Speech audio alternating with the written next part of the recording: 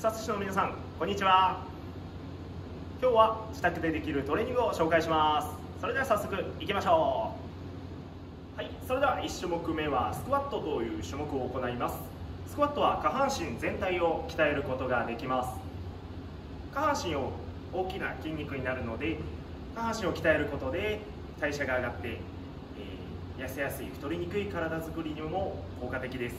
それでは早速いきましょう。はい。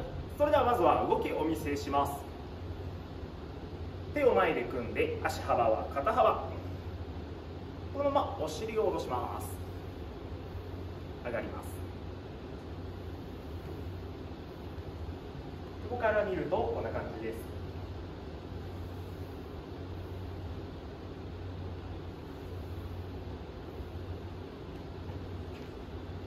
ここではポイントを3つだけ押さえます。まずはしっかりと背中をまっすぐ伸ばしましょう。そして2つ目は太ももを床と平行までお尻を下ろしてください。そして3つ目です。3つ目はお腹キュッと締めながら体を下ろしましょう。この動作の時に手が前でしんどい方は太ももに手を添えたままこのように下ろしていただいても OK です。はいそれでは皆さんでこのスクワットを10回チャレンジしましょう。それでは一緒にいきましょう。いきます。せーの。1 2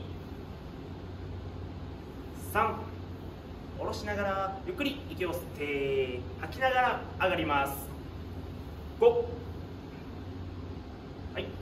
6はい。7 8 9あと1回、はい、10はい。OK です。はい。それでは2種目目に移ります。2種目目はランジという種目です。こちらも下半身を鍛えることができます。まずは動きをお見せします。足を前後に大きく開いて手は腰に当てます。このまま両足一緒に下に下ろして上がります。こんな感じになります。ランジなのですが片足に体重がかかるので両足バランスよく左右交互に行うことで鍛えることができます。こちらも気をつけるポイントですね。下ろす時ですね下ろした時太ももと床平行を目指してください。もちろん浅くても全然 OK です。で先ほどと同じようにしっかりと体を起こしたまま行ってください。それではこちらのランジ片足皆さんで10回ずつ行いましょう。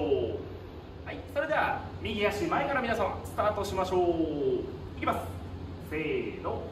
1はい。2 3体起きてますか？4膝つま先同じ方向でいきましょう。6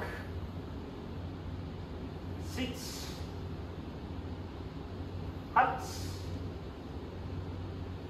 9あと1回です10はい OK ですさあそれでは次は左足前行きましょう。それではスタートします。せーの。1 2下ろしながらゆっくり息を吸って吐いて。四五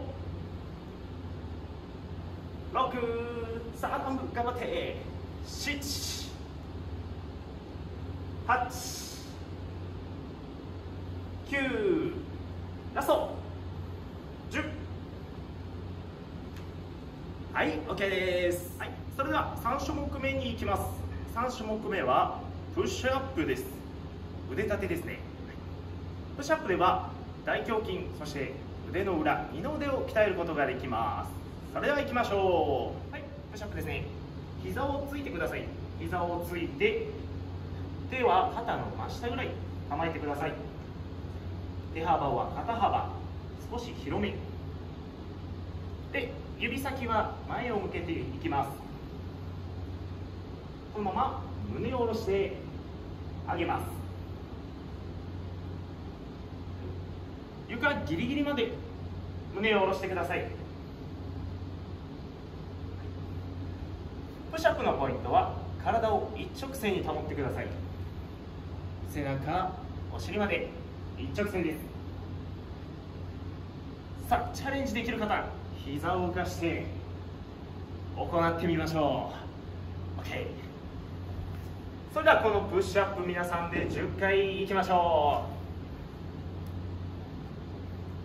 はいそれではセットして。いきましょう。せーの。1 2 3 4さあ一直線ですよ。5あと半分。6 7 8 9ラスト10はい。OK です。はい。今日実践したトレーニングぜひ皆さんのご自宅でも試してみてください。それではありがとうございました。